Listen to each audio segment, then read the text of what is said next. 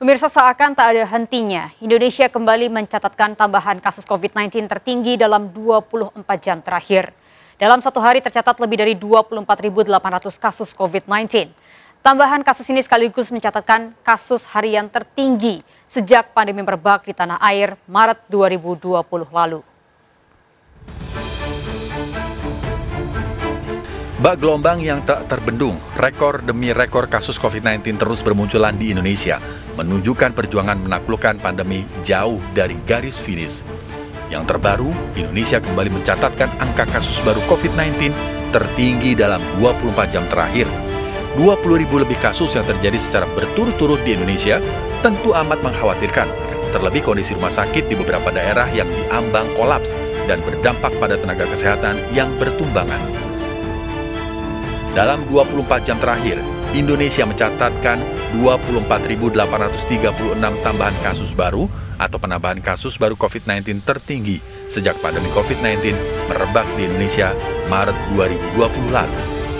Dengan tambahan hampir 25.000 kasus per hari, jumlah pasien yang terjangkit COVID-19 di Indonesia mencapai 2.203.108 orang. Torehan rekor baru ini tentu bukan prestasi yang patut dibanggakan. Lonjakan 4.000 kasus dalam sehari tentu amat mengkhawatirkan. Selama enam hari berturut-turut, Indonesia tidak pernah mencatatkan tambahan kasus di bawah 20 ribu.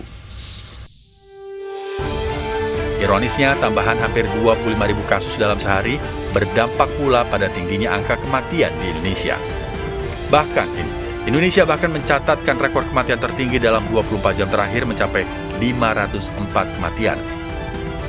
Catatan tertinggi kematian COVID-19 per hari sebelumnya terjadi pada 28 Januari lalu. Torehan kasus kematian mencapai lebih dari 500 orang dalam sehari menjadi rekor menyedihkan baru bangsa Indonesia. Kasus kematian tentu bukan sekedar angka statistik belaka, melainkan nyawa dari sanak keluarga yang berduka dan terpukul akibat kehilangan anggota keluarga mereka.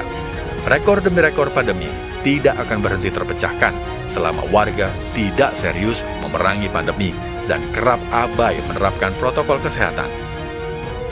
Kesuksesan memerangi pandemi sangat bergantung pada usaha kolektif antara warga dan pemerintah untuk bersama disiplin menerapkan protokol kesehatan dalam keseharian, bukan sekedar pelafalan prokes sebagai bentuk basa-basi belaka. Tim Liputan melaporkan.